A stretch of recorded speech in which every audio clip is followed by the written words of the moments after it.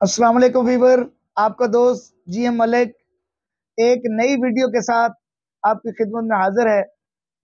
आज की जो वीडियो है ये एक ऐसे कारोबार से मुतलक है जिसकी ख्वाहिश हर इंसान अपने लिए और अपनी औलाद के लिए भी करता है।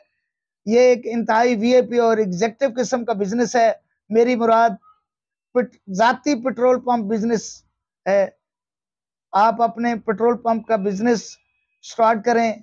मैं उसकी तमाम मालूम और उसकी अप्रूवल से लेकर ऑपरेशनल होने तक तमाम मालूम आपको इस वीडियो में प्रोवाइड करूँगा। लेकिन एक बात ज़रूरी है कि ये चूँकि एक बड़ा इंपॉर्टेंट बिज़नेस है बड़ा वीआईपी और एक्सक्लूसिव किस्म का बिज़नेस है इसकी तमाम डिटेल जो है वो एक वीडियो में बताना मुमकिन ही नहीं है। इसलिए मैंने ये फैसला किया है कि आपकी सहूलत के लिए मैं इसको तीन पार्ट में आप तक तमाम मालूम और तमाम तरीक़ाकार इसका प्रोवाइड करूँगा। हती कि इसकी तमाम अखराज इन्वेस्टमेंट टोटल इन्वेस्टमेंट तमाम अखराज तमाम इनकम ये मैं आपको पार्ट वन पार्ट टू और पार्ट थ्री में। तो बिस्मिल्लाह करते हैं, शुरू करते हैं। पार्ट वन में सबसे पहले ये सात स्टेप है मैं आपको बताऊँ कि इसके अप्रूवल के अप्रूवल से लेकर ऑपरेशन तक तकरीबन सात स्टेप हैं।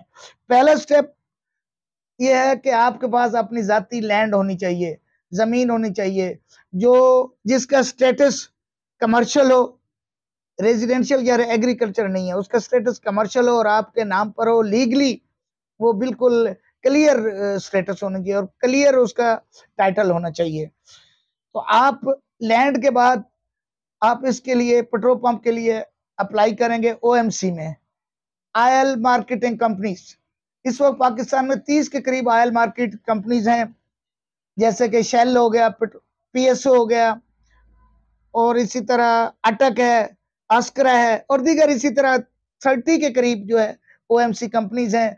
आप एक एप्लीकेशन ओएमसी कंपनीज़ को देंगे कि मैं पेट्रोलियम बिज़नेस शुरू करना चाह रहा हूँ। मुझे इसकी इजाज़त दी जाए। सेकंड स्टेप जो है एप्लीकेशन के बाद फिजिबिलिटी का आ जाएगा। आपकी एप्लीकेशन मिलते ही ओएमसी जो भी आपकी मुंतखब करदा ओएमसी है, वो आपने किसी नुमाइंदे को भेजेगी जो आपकी तमाम इस चीज़ को जो है, उसका स्टेटस आपकी लैंड का स्टेटस चेक करेगी, उसकी ओनरशिप और उसका टाइटल जो है, वो उसको देखेगी। ज़मीन की लोकेशन देखेगी। देखिए, किसी भी बिज़नेस का तरक्की करना और कामयाब होना बिज़नेस की कामयाबी का दारोमदार उसकी लोकेशन पे होता है कि वो किस लोकेशन का है।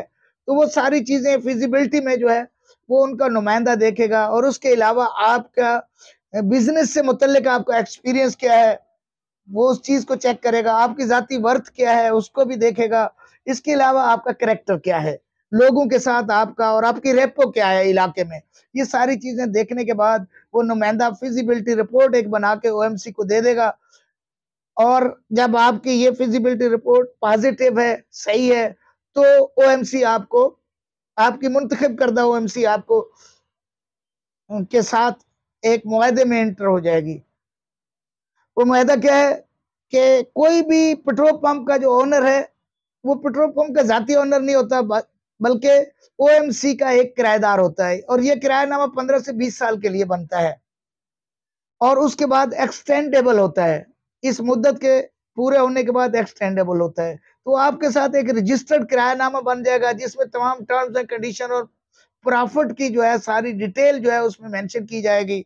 ये सेकंड पॉइंट फिजिबिलिटी का पॉइंट जो है क्लियर होने के बाद इसमें बीच में मैं ये बताता जाऊँ कि अगर आपके पास मुनासिब जगह मुहैया, वो नहीं होती है, पेट्रोल पंप के लिए अगर आपके पास मुनासिब जगह नहीं है तो मैं पेट्रोल पंप की प्लाट और जगह आपको दिलाने में मदद कर सकता हूँ। मैं बिल्कुल इंतहाई मुनासिब पैसों में और इंतहाई मुनासिब जगहों पे आपको पेट्रोल पंप की जगहों के लिए भी आपको गाइड कर सकता हूँ और आपको जो है वो डील दिलवा सकता हूँ। लैंड के सिलसिले में भी आपको परेशानी नहीं होगी। दूसरा जो है, मैं आपको ये बात वाजे करता चलूँ कि ये बिज़नेस जो है, इसके लिए कोई करोड़ों रुपए या अरबों रुपए या खरबों रुपए की ज़रूरत नहीं है।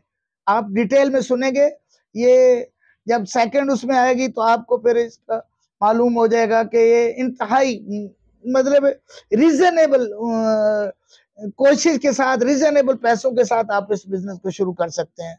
तीसरा पॉइंट ये है कि जब फिजिबिलिटी रिपोर्ट आपकी बन जाएगी तो फिर आप इसके एनओसी के लिए अपने मुतल डीसीओ को एप्लीकेशन देंगे।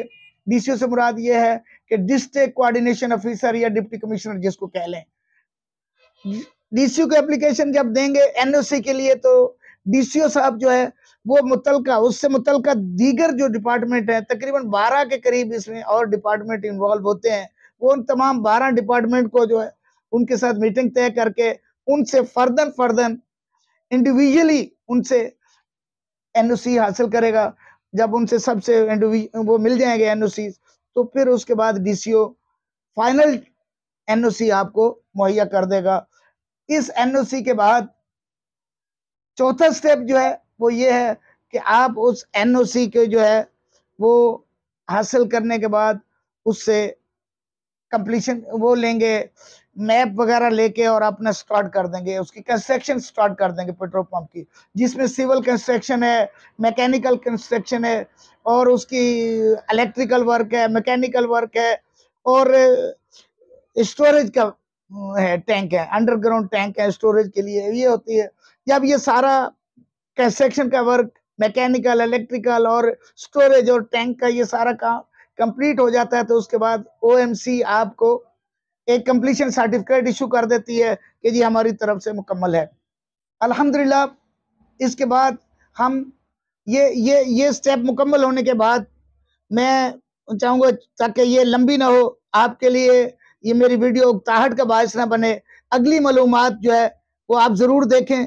मेरे नेक्स्ट पार्ट टू में मैं आपको फर्दर मालूम उसमें मुहैया करूँगा। एक बार फिर आपसे गुजारिश है कि मेरे चैनल को सब्सक्राइब करें अपनी कीमती राय से मुझे ज़रूर नवाजें, क्योंकि आपके कमेंट्स मेरी इसलाह और मेरी हौसला अफजाई के लिए बहुत ही अहम किरदार रखते हैं, बहुत ही उनका अहम रोल है आपके कमेंट्स का। और इन्हीं अल्फाज के साथ आपसे इजाज़त चाहता हूँ। अल्लाह हाफिज़, अपना ख्याल रखें और मेरे दूसरे पार्ट टू का इंतज़ार करें। जजाकल्ला अल्लाह हाफिज़।